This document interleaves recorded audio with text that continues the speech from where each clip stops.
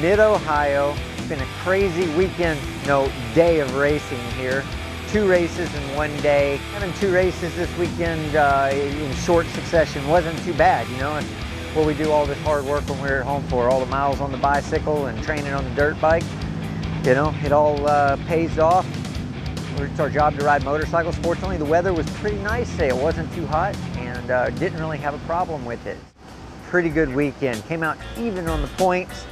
Close second to Cameron early in the day. Turned it around for closest win of my life. One went my way. That close, I'll take it. Must have been all the monster energy I was pouring in the tank of that R1. The finish with Cam was pretty crazy today.